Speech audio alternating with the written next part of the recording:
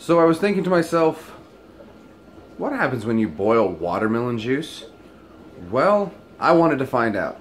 And to find out, there's only one thing to do, and that's to do it. So I got a watermelon, and I sliced it up, and I extracted a bunch of juice out of it, and I got some left over here, and we're gonna we're gonna boil some up, see what happens. okay, so there it is on the stove, just boiling it up a little bit. It's funny is that the coils on the stove are looking purple on this, and they're actually red. Let's get a spoon out.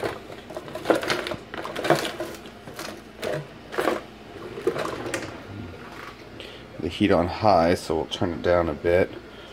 Six. You know what? Let's leave it on high. We want to get it really boiling. This is just watermelon juice that I, I had a watermelon. And uh, yeah, sliced it all up and that's some of the juices out of it. Now, I'm guessing that it's probably just going to reduce down, but I have no idea. But we'll check back in a little bit and see what happens.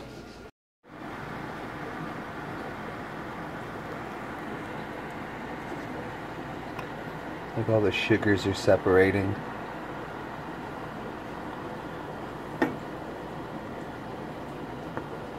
It's kind of cool.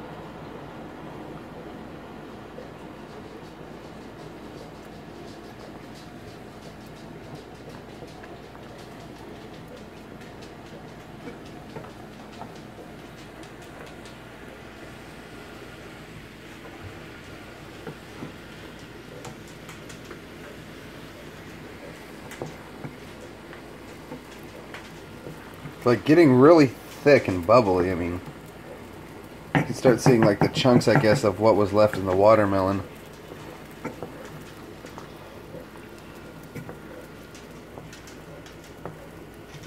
Huh. Alright, well, we're going to keep boiling it away until I can see something that looks a little different.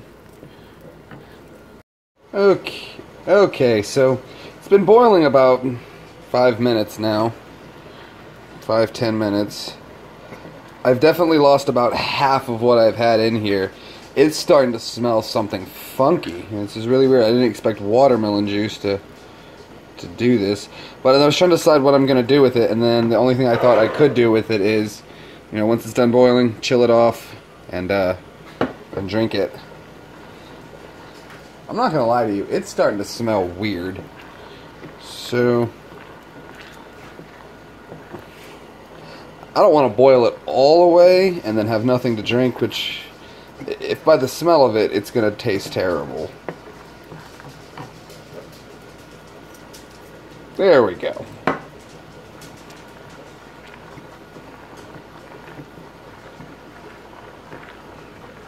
Alrighty, back soon. Okay, so I was thinking about how I, what I'm going to do to drink this, and obviously it is boiling, boiling hot. So what I'm going to do is I'm going to pour it into this mug, so I can put it into the freezer. I was going to pour it over ice, but then I was like, well, what's the point in boiling it if I'm just going to add water to it?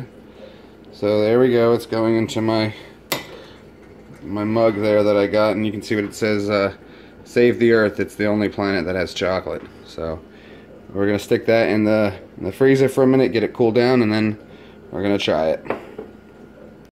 Okay, so here's the watermelon, been reduced, and we're to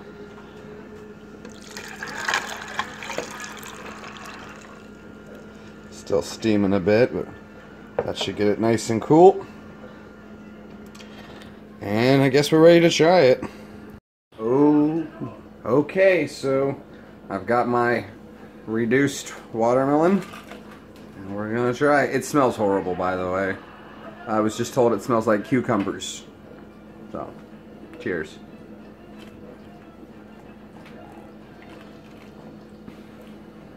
Oh. oh.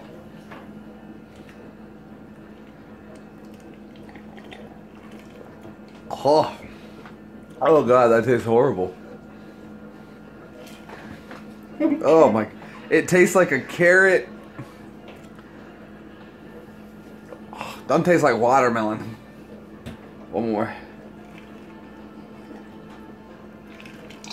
It's like carrot and tomato juice mixed.